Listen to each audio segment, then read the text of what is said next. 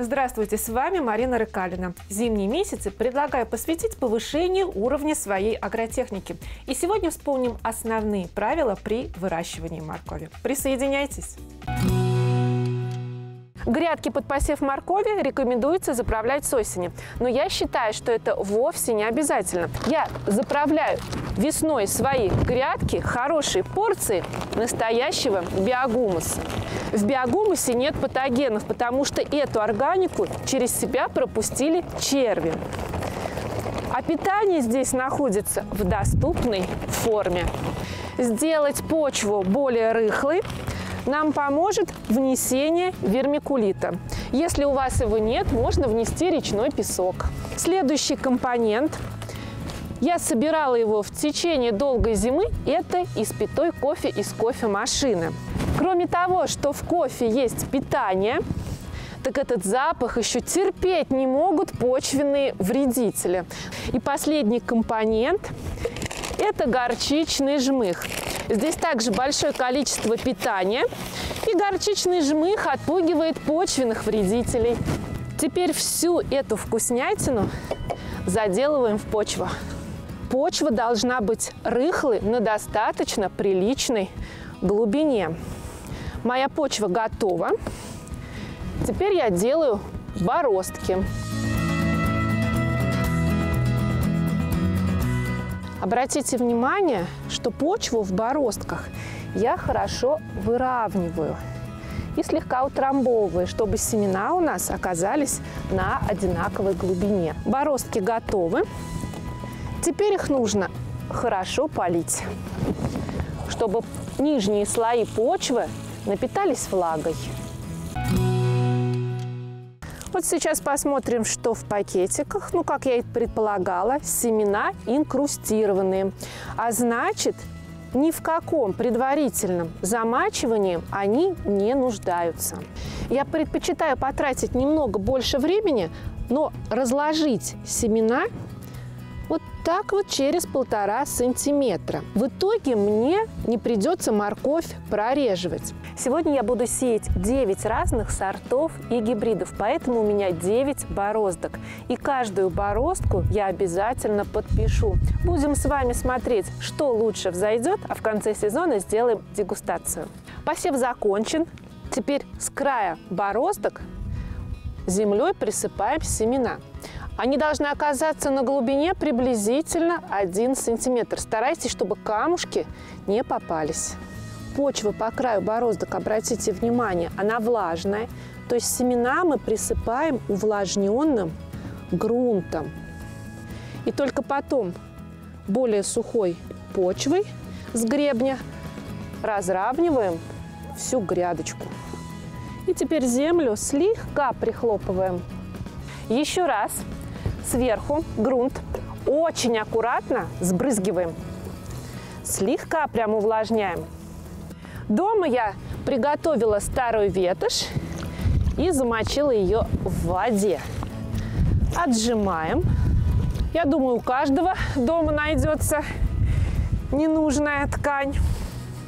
И влажной тканью накрываем грядку. Теперь мне понадобится черный мешок для мусора. Разрезаю его с боков и укрываю черным целлофаном по мокрой ветоши. Представляете, как на солнце здесь будет тепло, парниковый эффект. Чтобы ветром целлофан не сносило, я приготовила вот такие палки, на которые подвязываю томаты и вот так фиксирую. Можете досочки взять. И точно так же с другого края. В принципе, этого достаточно. Самое главное теперь не прозевать момент всходов, поэтому почаще заглядывайте под ткань с клеенкой. Но у меня эта грядка еще оснащена вот таким вот каркасом, на который натягивается нетканый материал. Поэтому закрою я ее. Изначально дикие виды моркови не имели оранжевого насыщенного цвета. Насыщенность удалось добиться нидерландским ученым путем длительной селекции. Семена к новому сезону выбираем вместе с Александром Леонидовичем Самсоновым. Здравствуйте! Сегодня мы будем с вами говорить о морковке. Если у вас хороший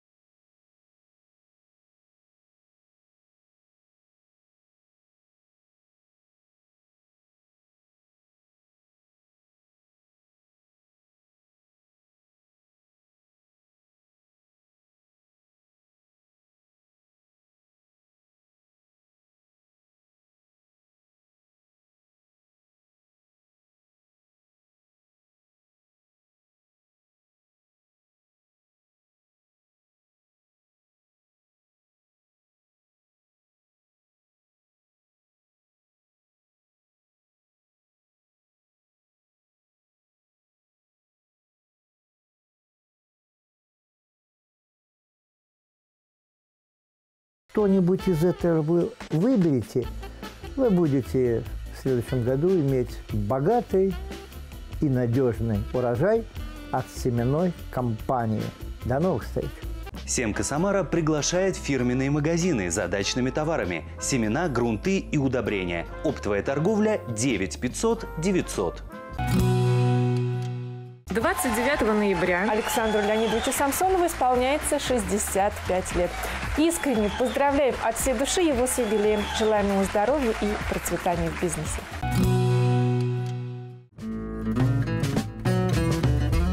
Прорастает морковь крайне медленно. Но так как эта грядка была укрыта ветошью влажной и сверху целлофаном, то всходы у меня получились уже на десятый день. А вот что растет без всяких проблем и быстрее, чем морковь, так это вездесущие сорняки. И удалять их придется вручную и очень аккуратно. Морковь не только всходит медленно, но и развивается медленно. И это связано с тем, что в это время на ранней стадии у нее растет корень. И здесь есть небольшой секрет. Первые 5-7 дней после появления всходов прекратите все поливы. Это позволит корешку уйти глубоко в почву в поисках влаги. И таким образом вы получите длинные и ровные корнеплоды. После прополки морковь нужно аккуратно прорыхлить.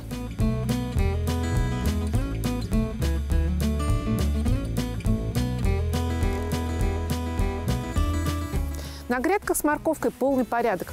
И нам лишь осталось Сверху замульчировать морковь кислым торфом. Торф не даст образовываться корочки, а еще его очень не любит морковная муха.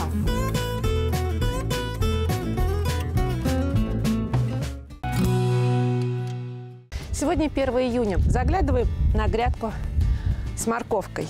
А она, как видите, колосится.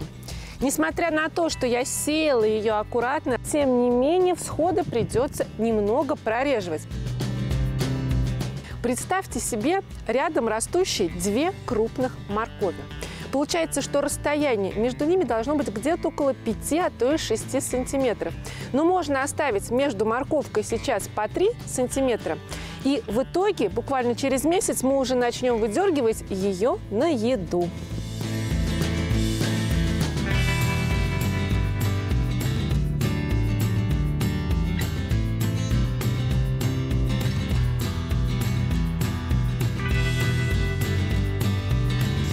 У морковки, которую я выдернула, великолепный аромат, и он сильно привлекает морковную муху.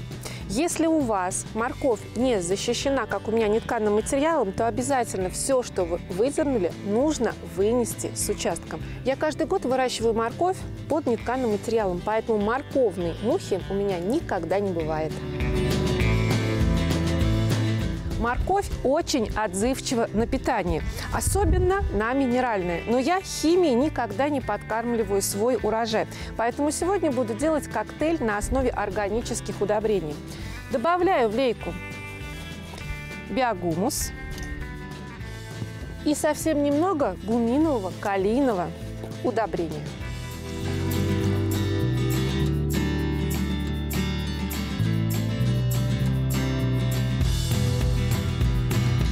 Но и это еще не все.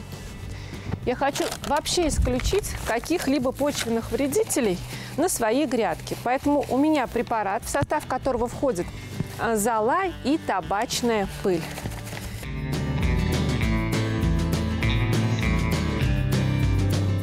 А зола, которая входит в состав этого препарата, является еще и дополнительным источником питания, который так нравится корнеплодам. Теперь три недели мы больше морковку ничем подкармливать не будем. Накрываем грядку нетканым материалом. И по мере необходимости поливаем.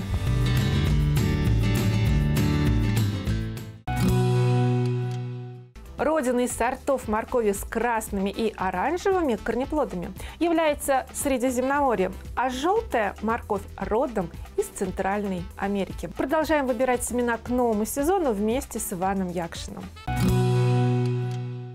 Какие же сорта моркови выбрать на следующий сезон? Ну, во-первых, я хочу сказать, что бывают два вида моркови. Это морковь сорта типа нанская. Она длинная, с тупым кончиком, не очень толстая, вкусная, сладкая морковь. И морковь типа шантане. Она более короткая, конусовидная, хорошо выдергивается из твердых почв. У кого бетонные почвы, это для вас. Как только сойдет снег, сеем самую раннюю морковь. Морковь – первый сбор. Она понравится как вам, так и вашим деткам. Ее можно использовать пучковом сборе. Она не очень крупная, но зато поспевает уже к июлю месяца. Далее выбираем нанскую морковь. Самая простая, всем известная, нанская 4. Среднеспелая морковь среднего размера, вкусная, сладкая, подойдет для всего. Морковь нандрин. Она покрупнее нанской, хотя относится к этому же сортотипу. Длина плодов 20 сантиметров, очень хорошо хранится, устойчивый к болезням и вредителям. Морковь Самсон – это средний-поздний гибрид. Очень качественные плоды, практически без сердцевины, вкусная, сочная, сладкая морковь можно использовать и для соков, и для кулинарии. И, наконец, поздний сорт перфекция. Эта морковь очень крупная, до 30 сантиметров длиной, очень урожайная, вкусная и сладкая.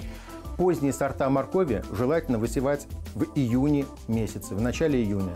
Тогда она у вас наберет сочность уже где-то к сентябрю, октябрю месяца и будет великолепно храниться до весны. Переходим к моркови для тяжелых почв. Начнем с родоначальника всех моркови группы Шантане – это морковь Шантане 2461. Среднеспелая морковь для тяжелых почв универсального назначения. Морковь Шантане королевская, Шантане Роyal – это морковь устойчивая к болезням, также относится к группе Шантане. Морковь Шантане Акурош 2 это морковь среднеранняя. Урожай вы получите в июле месяце. Морковь характеризуется устойчивостью к позеленению верхушки, хранится до 8 месяцев. Морковь алтайская лакомка – один из самых сладких видов моркови. Выращивается как у нас, так и в сибирских регионах. Если хотите разнообразить вашу кухню, для плова, для ухи, для салатов, для э, консервирования разноцветных э, кубиков моркови выбирайте серию цветную. Здесь и желтая морковь, и белая, и шоколадная, даже есть фиолетового цвета. Целая радуга оттенков. Для подсвечивания рассады и комнатных растений я рекомендую использовать светодиодные лампы специального спектра. Эти лампы имеют бежевый цвет, который не раздражает глаза и в то же время способствует хорошему росту рассады и комнатных цветов. У нас в магазине появилась уникальная новинка – это удобрение «Ботаник». Это удобрение с озера Байкал. Содержит комплекс гуминовых кислот. Все необходимые питательные вещества для ваших растений хорошо поддержат и овощные культуры, и рассаду, и цветочные культуры. Что у нас еще здесь есть? А, гумат Байкал. Это концентрированные гуминовые кислоты в одном флаконе. Ну, уже всем известный гумат плюс 7 йод, но только в жидкой форме. Йод не только обеззараживает почву, но также и способствует более активному росту рассады. Гумат с калием потребуется при формировании урожая. Ну и, наконец, Гумел Люкс. Это удобрение содержит все достоинства предыдущих. Здесь и гуминовые фульвовые кислоты, здесь полный набор питательных элементов в хелатной форме. Великолепное удобрение для растений. И не забываем про препараты триходермин и метаризин. Он сейчас называется микорат инсекта. Триходермин вам потребуется для обеззараживания почвы, а метаризин для защиты от почных вредителей. Обязательно добавляем эти препараты в почвы для рассады. У нас многие дачники спрашивают, что за информация появилась на пакетиках. С этого года обязательно указывается год сбора урожая и год фасовки. Срок хранения семян на пакетиках указывать не будут.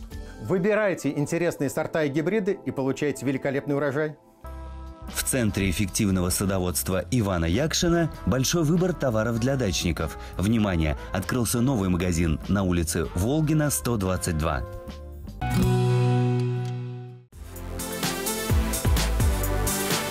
Если листочки на вашей моркови стали фиолетово-красными, а потом они желтеют и засыхают, то в вашей почве орудуют личинки морковной мухи.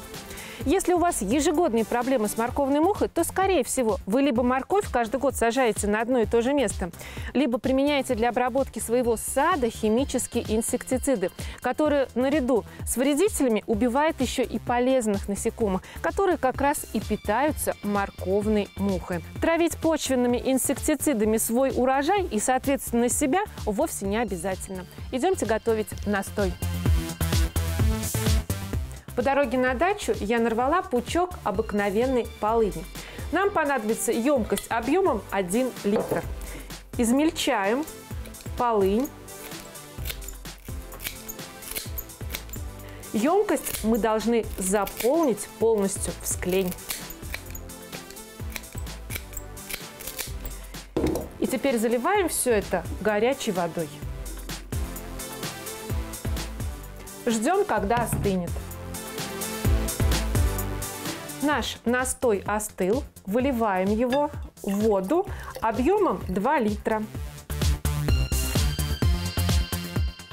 Этим готовым рабочим раствором мы вечером будем опрыскивать морковь.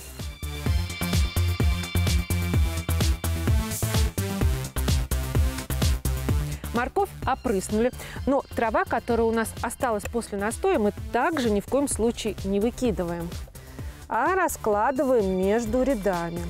Личинки луковой мухи не переносят запах полыни и откладывать свое потомство они сюда уже точно не будут. Как видите, работа совсем несложная. Возьмите за правило делать ее регулярно конец июля, и сегодня я хочу показать вам результаты, которые сейчас выдает нам морковь. Я никогда не выбрасываю пакетики, из которых я делала посевы, дабы сравнить, что же предлагает производитель и что у нас получилось в итоге. Начнем с морковки, которая заявлена как очень ранний сорт. Называется она полярная клюква. Выкапываем. Вот он, первый рядочек с полярной клюквой. Она уже просто выпрыгивает из грядки. Вот она. Помоем. Вот такая полярная клюква получилась. Что на пакетике, то и в реальной жизни. Правда, я не совсем понимаю, для чего я ее сажала. Видимо, просто для интереса. Ну и, может быть, я ее попробую законсервировать вот такими целыми корнеплодами. Следующий гибрид. Называется он Атилио. Вот такая морковка. Мне кажется, что эта морковка а, на пакетике выглядит немножко иначе. Она более цилиндрическая, а у моей морковки получился вот такой конус. Теперь следующий интересный сорт – Называется морковь столовая Yellowstone. Она желтого цвета. Обычно такую морковь используют для приготовления плова и ухи, потому что она не должна быть очень сладкой. Пробуем. Вот она. Ну, уже видно, что цвет соответствует. Цвет действительно нежно-желтый. Следующий гибрид называется интересный шоколадный заяц. И выглядит он, по крайней мере на картинке, довольно экзотическим. Посмотрим ли, соответствует ли это действительности. Вынимаем. Вот он, шоколадный заяц. Вот корнеплод не очень ровный, почва оказалась для него плотной. Давайте посмотрим на разрезе. Действительно красивый. Этот гибрид производитель заявил как суперсладкий. Действительно, морковь очень сладкая. Следующий гибрид. Гибрид проверенный, потому что сажаем мы его не первый год. Морковь называется Наполи. Пробуем.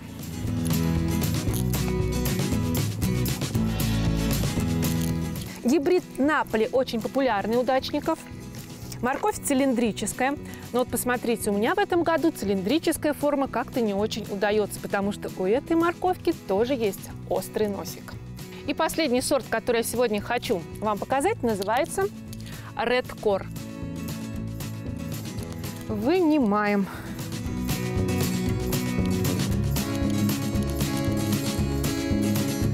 Морковь вот такой конусовидной формы обычно рекомендуют выращивать дачникам, у которых на участке очень тяжелая почва, суглинок. Вот такая морковка обычно там удается, в отличие от цилиндрической.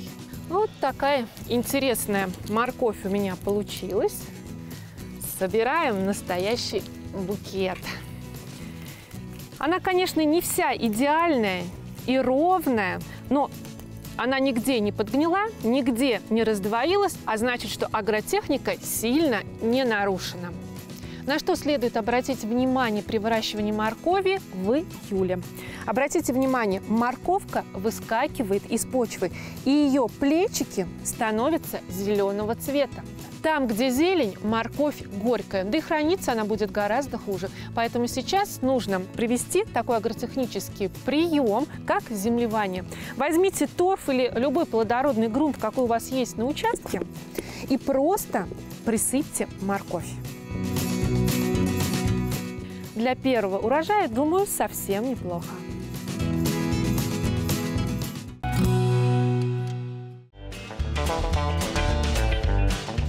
Начало сентября, и сегодня я хочу выбрать часть моркови с грядки и заложить ее на хранение. Если морковь выкопать очень рано, то она не наберет нужное количество сахара. Она будет не сочной и, соответственно, будет плохо храниться. И напротив, если опоздать с выкопкой, то будет переизбыток сахара и аминокислот. Морковь становится дупловатой, невкусной и тоже плохо хранится. Если вы не можете определить срок, то ориентируйтесь по ботве. Как только у моркови начали желтеть нижние листья, самое время приступать к выкопке, чем мы и займемся.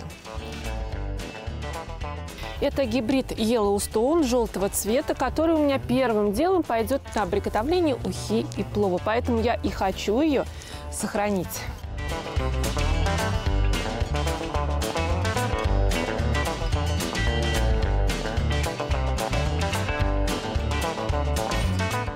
Теперь мы обрываем ботву.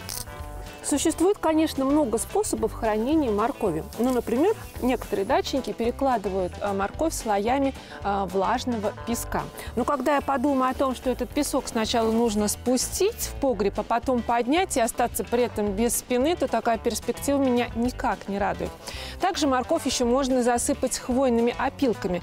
Вот это, кстати, вариант немного лучше, но опилки все равно нужно где-нибудь достать. Фитонцидные свойства хвойных опилок препятствуют препятствует прорастанию моркови, и она лучше хранится.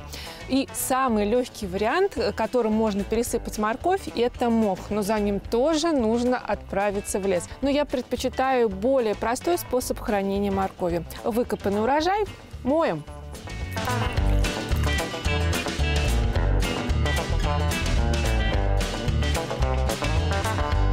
Домываем последнюю морковку. Теперь понадобится ведро с чистой водой. В него я добавляю биологический фунгицид. У моркови, чтобы она в погребе при хранении не прорастала, я срезаю плечики. И опускаю в ведро с биологическим фунгицидом.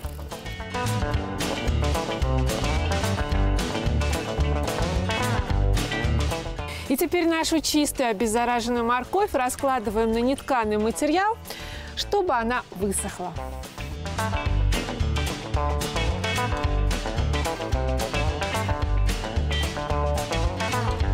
Долго морковь на солнышке держать нельзя, приблизительно 2 часа. Как раз за это время она успеет полностью просохнуть. Выкапываем следующий гибрид, который называется шоколадный заяц.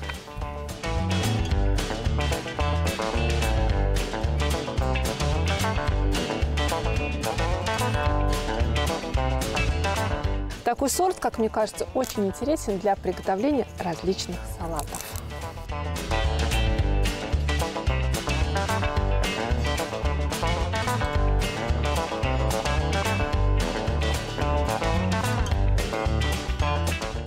Морковь, клюква полярная, круглая, мне сейчас нужна для консервации. А это мой любимый гибрид, который называется Наполе. Обратите внимание, что морковь не мелкая, но и не крупная. Почему-то дачники радуются, когда видят огромные корнеплоды, но на самом деле они перезревшие, невкусные и плохо хранятся. Для меня морковка стандартная выглядит именно вот так.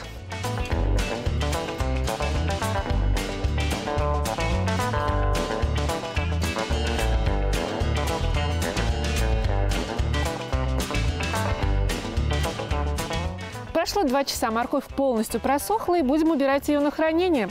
А свою морковь в целлофановых пакетах.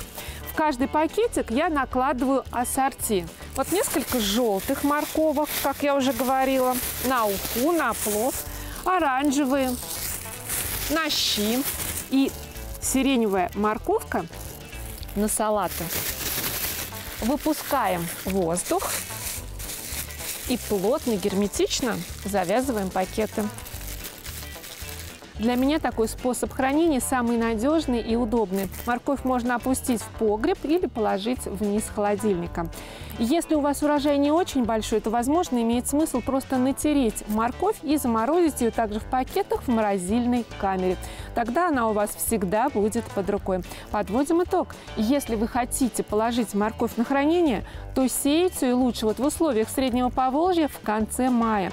А если вам нужен ранний урожай и на переработку, то сеять морковь лучше под зиму или сразу после схода снега в апреле. Если вы пропустили выпуск программы, то можете посмотреть его на моем сайте marinaarkalina.ru. Каждый день в Инстаграм я выкладываю новые публикации. Присоединяйтесь.